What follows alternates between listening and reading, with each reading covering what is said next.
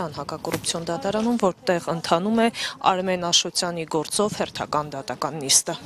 Մեջտեղում կկանգնեք Պոմինասյան։ Պոմինասյան սկսենք Փաշինյանի ասուլիսից, որքան էլ որ չենք ուզում հնչեցված թեզերին անդրադառնալ, այդուհանդերձ ինչի մասին էր ասուլիսը, ուր էր տանում այդ Փաշինյանի առաջարկած հերթական օրակարգը, ում համար, որ լսարանի համար։ Գիտեք, ես կարծում առաջերտին իր տերերի, որպեսի ինքը ապահոցի, որ ինքը հավատարիմ է իր կարգավիճակին, թուրքադրբեջանական գործակալի եւ իրականացնում է այն ծրագրերը, որի համար իրան բերել են Հայաստանում իշխանության ու պահում են իշխանության ես առիթունեցել եմ ասելու,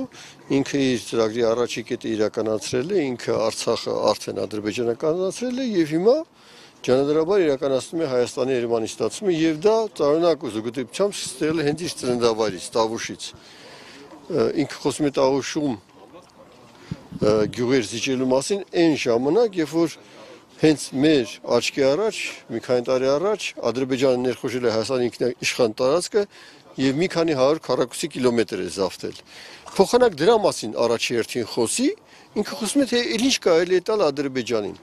Եվ սա իսկապես համոզում է այն միտքը, որը ես ասացի ամնասկզբում։ Ինքը թուրք-ադրբեջանական գործակալ է եւ իր ցանկացած քայլ, եթե դուք այդ տեսակետից չնայեք, ոչի բան չեք հասկանա։ Իսկ հենց սկսում եք այդ տեսակետից նել ավելի պարզ է դառնում։ Պոմինասյան այսօր հարվածի տակ են ոչ միայն Տավուշի գյուղերը, այլև հենց Սյունիքը,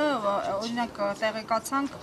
որ Սերդար Քլչի պատվիրակությունը Հայաստանին առաջարկել է Սյունիքի մարզին տալ հատուկ կարգավիճակ Կալինինգրադի նմանությամբ։ Ուր են տանում այս խոսույթները։ Գիտեք, մի բան է դա ասում է Ադրբեջանի ներկայացուցիչը, մեկ ուրիշ բան է, երբ որ ասում է մարդ, որը բազմացել է Հայաստանի վարչապետի աթոռին։ Եվ մի զարմացեք, որ ընդամենը մի քանի ամիս հետո այդ խոսույթը կդառնա ճիշտ այնպիսի սովորական Օվերտոնի պատոհանի բացված մի տեքստ, ինչի մասին ես քիչ առաջ ասեցի։ Եվ եթե դուք հենց այսօր դա չկանգնացնենք, մենք այսօր դա չկանգնացնենք, վա դա դառնալու իրականություն։ Ճիշտ այնպես, եթե մենք կես տարի առաջ, 1 տարի առաջ կանգնացնեինք այս ընթացքը, այսօր այս ողբերգության առաջ մենք կանգնած չէինք լինի։ Շնորհակալ եմ։ 168-ը